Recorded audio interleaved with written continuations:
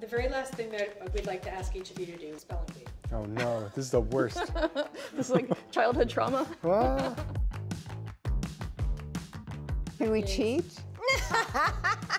I am a terrible speller. Not only am I a horrible speller, but I have dyslexia, so let's try it.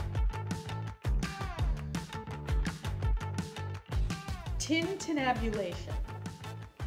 what? Tintinnabulation. T I N. Can I start over? One zero tonabulation.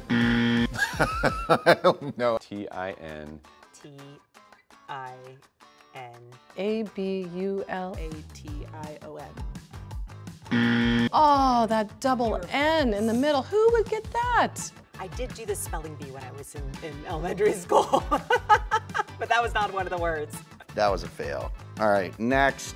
Flibbertigibbet. Oh, another one. You gotta be kidding me.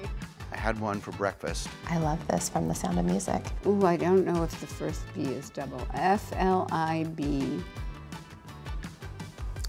E R T Y G I B B E T. I'll do the BB. Yeah, I tried the BB. F L I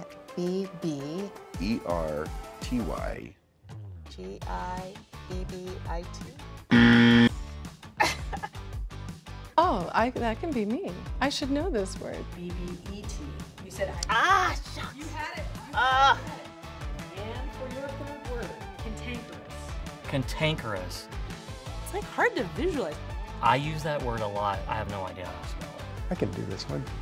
Cantankerous. C A N. T E R. Oh wait, sorry. Can I? Is this like spelling rule rules, or can I go back? C A N T A N K. E R. O U S.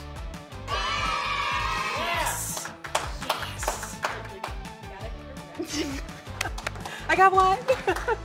I'm Christopher Jackson. I'm Carol Dweck. I'm Yung Pueblo. I'm Michelle Kang, and this is South by Southwest Evening.